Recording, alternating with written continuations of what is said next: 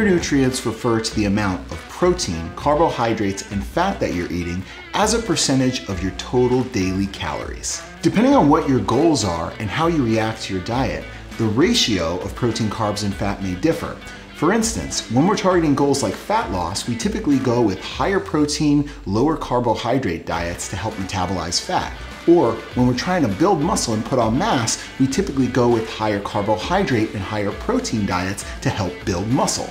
So today, I'm gonna teach you how to take your macronutrient prescription in grams of protein, carbs, and fat and translate it into meals on the plate. So let's say you're eating a total daily caloric prescription of 2,500 calories. And of those 2,500 calories, 40% of them are gonna come from protein. So what we're gonna do is we're gonna take 2,500 times 0.4, which is gonna give us 1,000 calories each day coming from a protein source.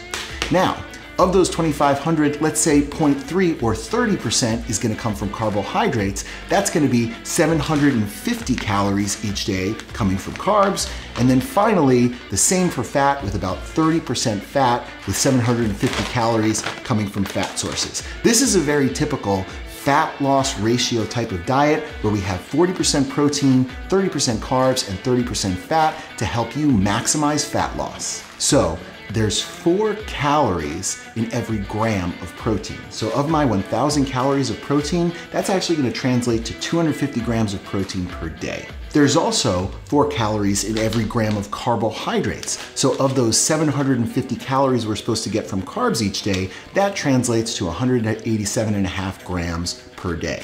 Now there's nine calories in every gram of fat. So of those 750 calories each day we're supposed to get from fat, 83 grams of fat is gonna be our total daily macronutrient target. That's how we come up with those numbers for you with your macronutrient ratios in the total daily grams. But to take it one step farther, now we need to divide it by the number of meals you're supposed to eat each day. So let's say you're typically eating about five meals per day. All we do is we take those numbers and divide them by five.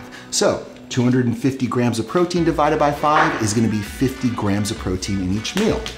187 and a half grams of carbohydrates divided by five is gonna be 37.5 grams of carbs in each meal, and 83.5 grams of fat as your total daily total divided by five is gonna be roughly about 16 grams of fat in each meal. So let's quickly weigh and measure this stuff and create three meals fast and easy that have precision and accuracy.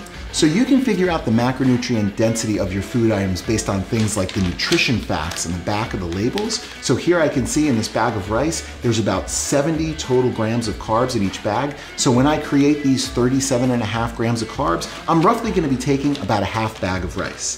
I know that there's seven grams of protein in every ounce of chicken. Now you can find this information out by looking at the back of the package, or you can look at resources like MyFitnessPal or Nutritionix to find that information. And then here at the back of my uh, bag of, uh, I guess these are pecan nuts, which is gonna be my fat source, I can see that in a quarter cup, there's 15 grams of fat. So I already know about how much is gonna go on the plate in each meal. It's gonna look like about seven ounces of chicken, a half bag of rice, and a quarter cup of nuts. Okay, so you're gonna be amazed at how fast you can create multiple meals once you have your protein cooked and your other fuel sources out. So I'm gonna start each meal with about a handful of spinach. What this is gonna do is it's gonna give me some really valuable micronutrients, some good vitamins and minerals, but it's also gonna cover that two and a half grams of carbohydrates that I wasn't getting out of that half bag of rice because it's only gonna be about 35 in that half bag. Um, the calories here are really marginal, so you can put as much as you want in, and there's really no amount that's too much, and it's also, like I said, great for your health because you're getting all of those micronutrients. Now, I'm gonna take my bag of 90 second rice, I'm gonna kind of measure it in my hand, go halfway, and just clip it right in there. Then I'm gonna take the next one. So here, got about 37 and a half grams of carbs. I just need one more half bag. So here I measure it. Okay, it's right about there. Bam. Okay, and I'm in. Now I take this and I put it on my food scale. It should zero out. I wanna make sure that I have the units in ounces because we're gonna measure ounces of chicken. You gotta tare it out so it goes to zero, and now I can start putting chicken on. Remember, I wanted seven ounces because there's about seven grams of protein in every ounce, so to get to about 50, I'm gonna have to have a little bit north of seven.